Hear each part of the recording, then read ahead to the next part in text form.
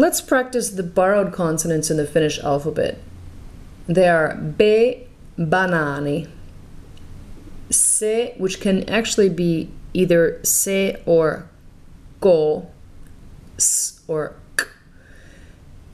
The se version is like CD-ROM, and the k version is like Costa Ricalainen.